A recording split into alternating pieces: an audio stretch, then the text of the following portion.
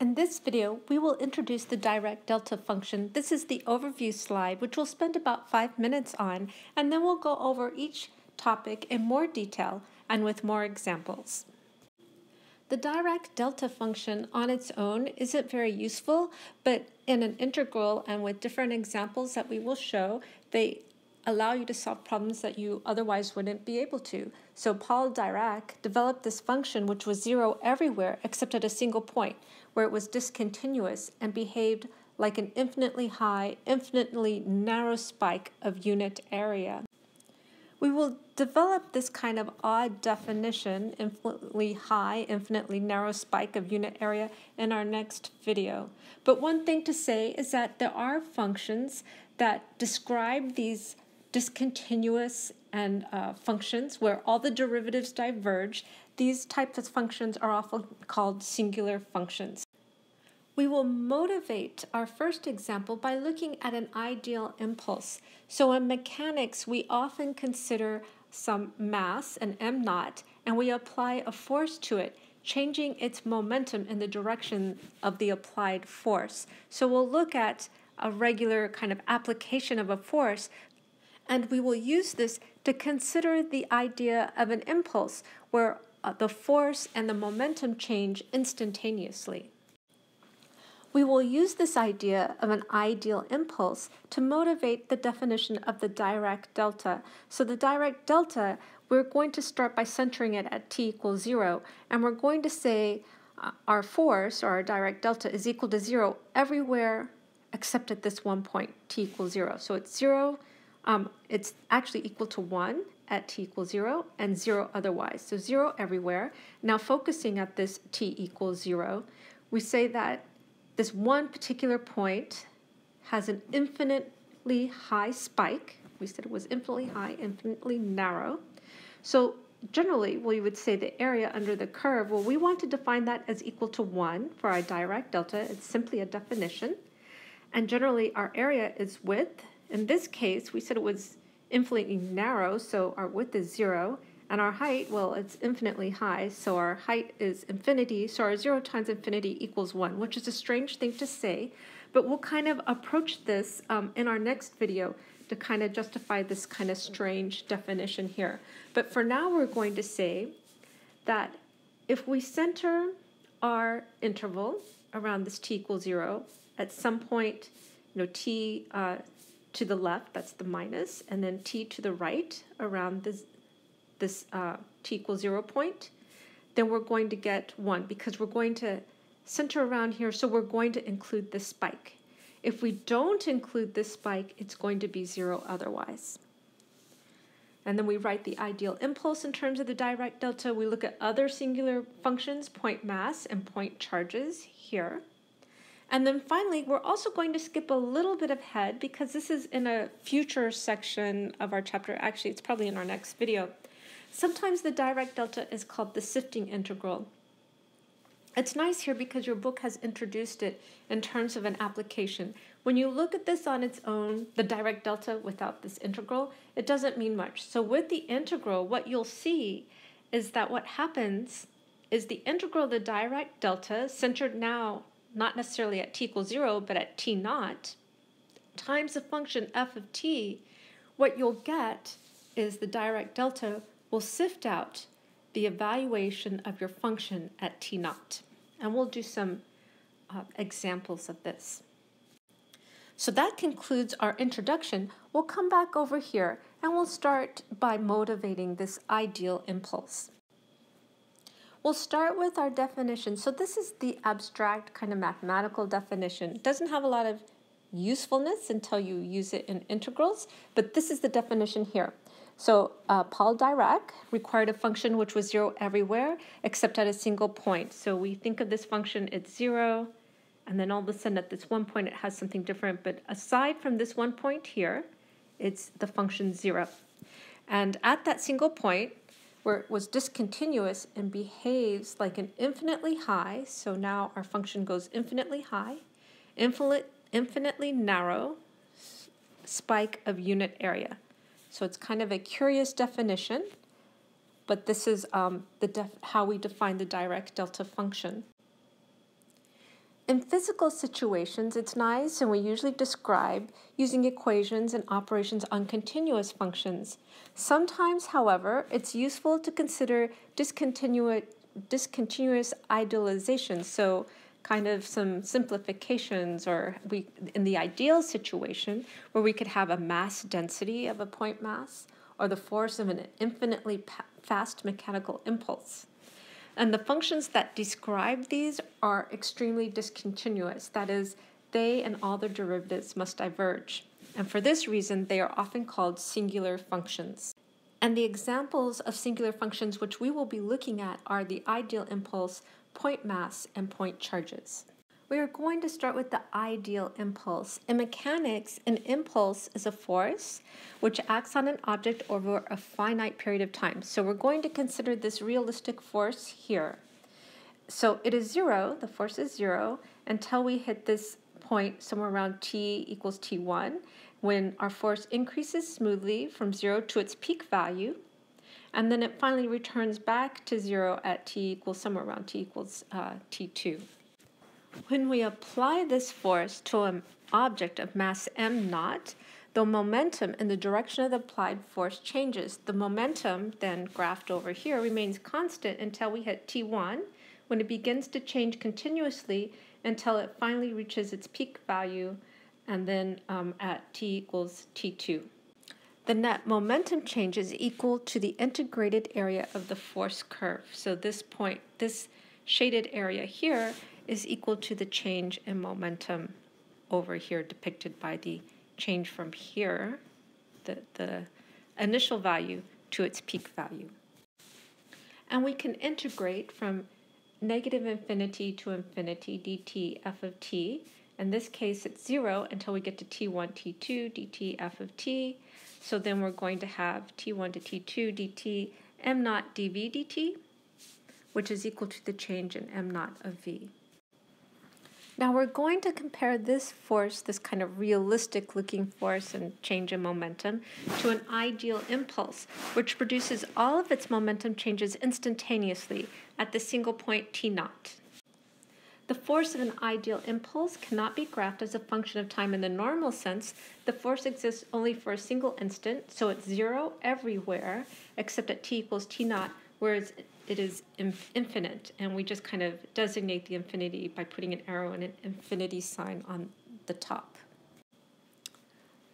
But this is not just any infinity. Since the total momentum change must change in m naught v, the force must diverge so that any integral which includes the point t naught gives the momentum change, and any integral which excludes t naught must give no momentum change. And we write this here as long as we're between t minus and t plus, if it includes t naught, right? So if t, uh, t naught is in between t minus and t plus, then it's going to include the change of momentum.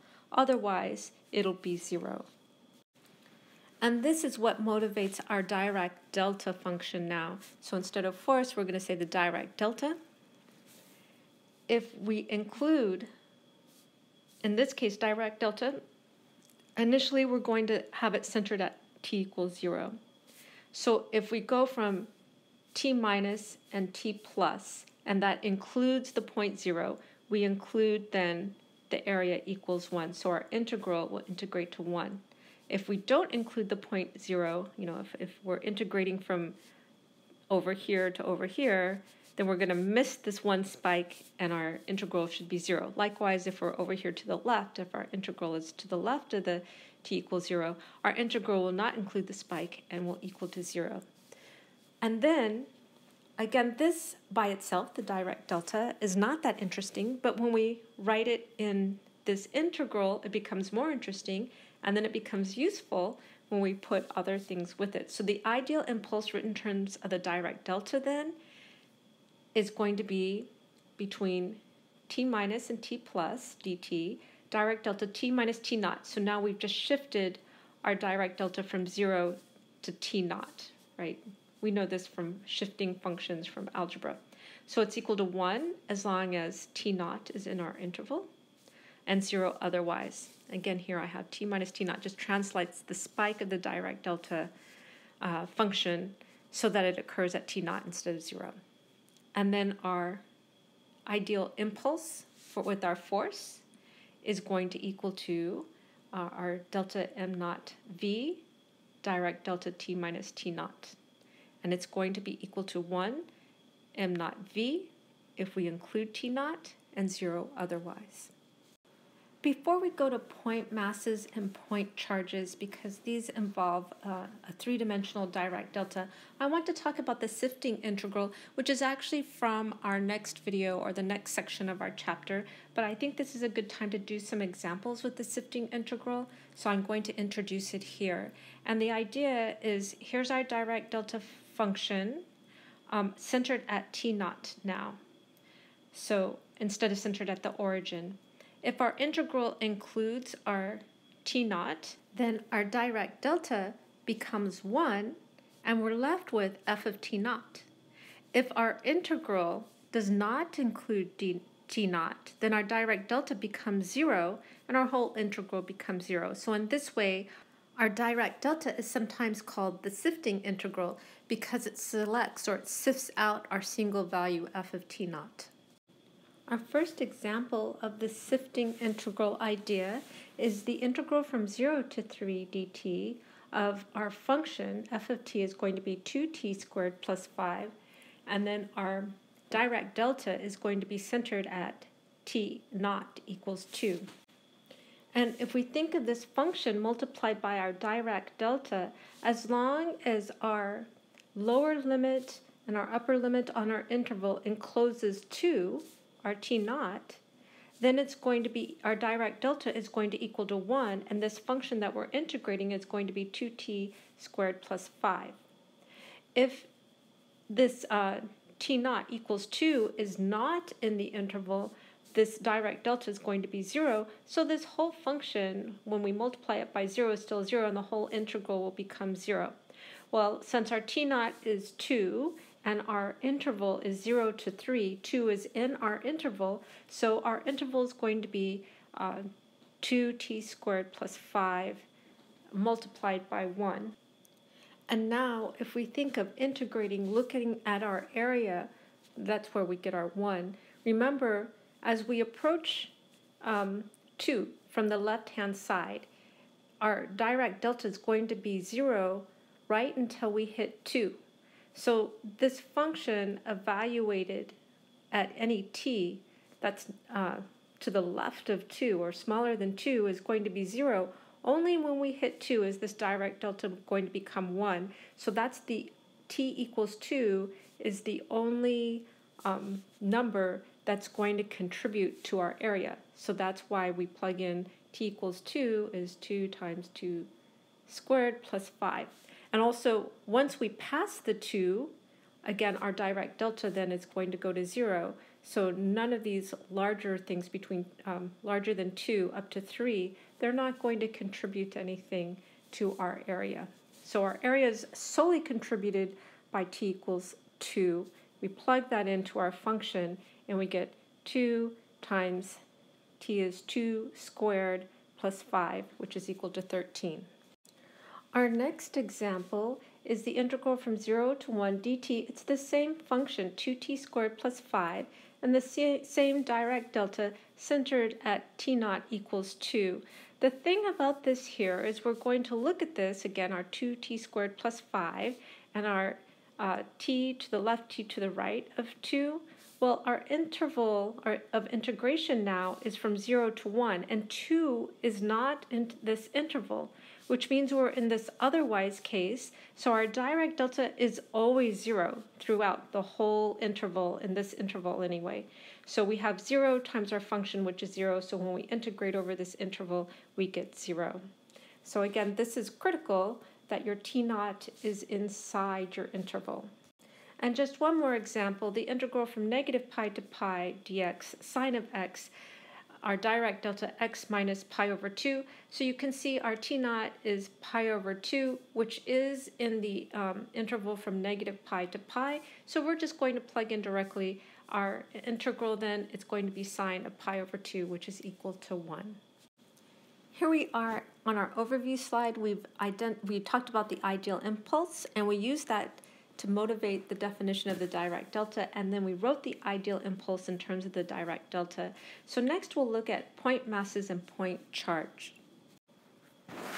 A point mass and a point charge. So a point mass has a finite amount of mass stuffed inside a single and space, and charge is the same except instead of mass, it's charge. So the density must be infinite at that point and zero everywhere else. So integrating the mass density over the volume gives the total mass enclosed. So this is this uh, definition here. When we integrate our mass density over our volume, then we will get the total mass inside V. If there's a single point mass m naught located at the origin, any volume integral which includes the origin must give the total mass m naught. Integrals which do not include the origin or exclude the origin must give zero. So that's kind of expressed here. We have this our integral to find our total mass, which is integrating our mass density over the volume. So it's going to equal to our total mass m naught if we include the origin, assuming that the mass is located at the origin. I should underline that Later we'll change that, but yes, or relax that um, for a point mass, m naught at the origin. And it's equal to zero if the origin is excluded from our volume. So now hopefully you can see the um, similarity with the Dirac delta. So here is our Dirac delta function. So to write the point mass in terms of the Dirac delta, this is our density is equal to m naught times our Dirac delta in the x, y, and z direction because now we're in three um, dimensions. So our volume integral of our mass density is equal to dx dy dz, m naught, uh, our Dirac delta in the x, y, and z. And then, um, and at the point mass is not at the origin, but at x naught, y naught, z naught, then our mass function is, our, our mass density is equal to m naught the Dirac delta at x minus x naught, Dirac delta y minus y naught, Dirac delta z minus z naught. In this video, we introduced the Dirac delta function. We looked at the formal definition, which says that this Dirac delta is zero everywhere except at a single point, where it's discontinuous and behaves like an infinitely high, infinitely narrow spike of unit area here. We motivated this by looking at mechanics and an ideal impulse. We had a force that um, gradually ramps up at T1, it starts to increase, it peaks, and then it comes back down to zero at T2, and then it would change the momentum of an object with a, a mass m naught. And what we did is we compared that to an ideal impulse where the force and the momentum occur instantaneously at a point, a single point, t naught. And we said we wanted the entire change in momentum then to occur at this one point. And we use that to motivate a Dirac delta function that is zero everywhere except at the single point. And we started uh, by centering the Dirac delta at zero. So at zero, we had this spike. It was an impulse, infinitely high, infinitely narrow, and area is equal to 1. And how we get this unusual definition of area equals 1 when we have an infinitely narrow and infinitely high uh, object we'll talk, discuss in the next video. So the ideal impulse then, over here from mechanics, can be written in terms of our Dirac delta. So we can center our impulse at t naught. We can move it from zero by subtracting t naught from our Dirac delta, and we get our f of t is equal to our change in momentum times our Dirac delta centered at t naught. We did, um, well, actually, before we did the other example, point mass and point charge, we said that this um, integral here with the Dirac delta centered at t naught is often called a sifting integral because it picks out the value of f of t naught, the single value out of f of t. And then we looked at point mass and point charges, which have this three-dimensional Dirac delta, which is essentially just Dirac delta in the x, Dirac delta in the y, and Dirac delta in the z directions. And that's it for this video. Thank you for watching.